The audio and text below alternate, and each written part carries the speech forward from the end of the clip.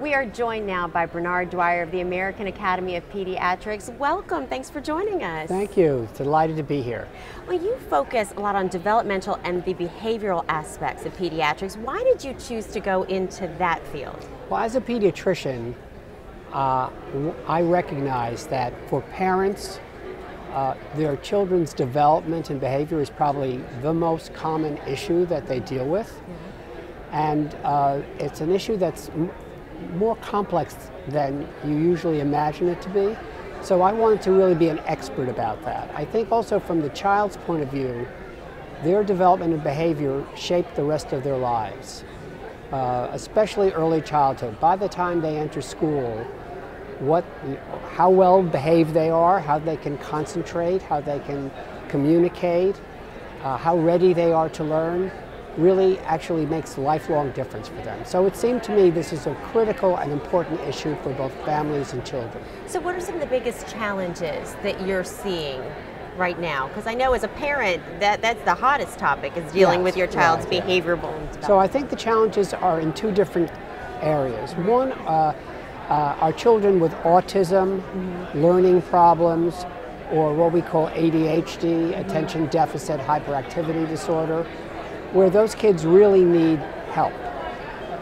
Uh, and some of them may not end up being normal adults. They may have lifelong problems. So those are the kids who have really their own problems that we know a lot about helping them, but we can't always cure the problem.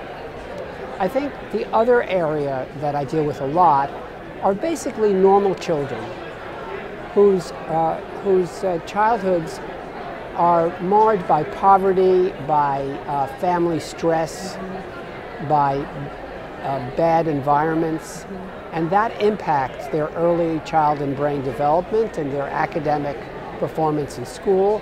And there, I think we can do a lot because they basically have great potential. We just have to maximize their potential. But how can the Academy help in that area? So the Academy has, uh, th this past year's uh, uh, uh, just released a new policy statement on poverty and child health in the U.S. And there are basically uh, two different components to it. One is uh, helping pediatricians deal with the needs of families in poverty. I'll talk about that first.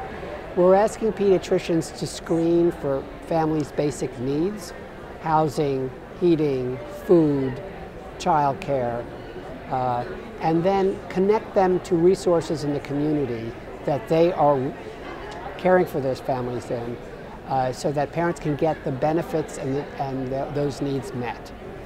Uh, we're also asking pediatricians to think about incorporating and integrating parenting programs of various kinds that help parents be the parents that they want to be as part of their primary care. So for example, the Reach Out and Read program is a well-known program where pediatricians give out books to parents and counsel them on reading. It's been shown to make a real difference in children's uh, health and development. And the other part of the policy is asking the government, both local, state, and federal, to support the programs that families living in poverty need, that we know lift them out of poverty and ameliorate the effects of poverty on their children. Good. Well, Dr. Dreyer, thank you so much for joining us. It's been a pleasure speaking with you today. Great. Thank you.